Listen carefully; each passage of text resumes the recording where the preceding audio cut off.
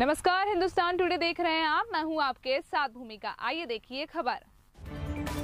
आज सेवड़ा नगर में हिंदू संगठनों द्वारा विशाल चल समारोह का आयोजन किया गया।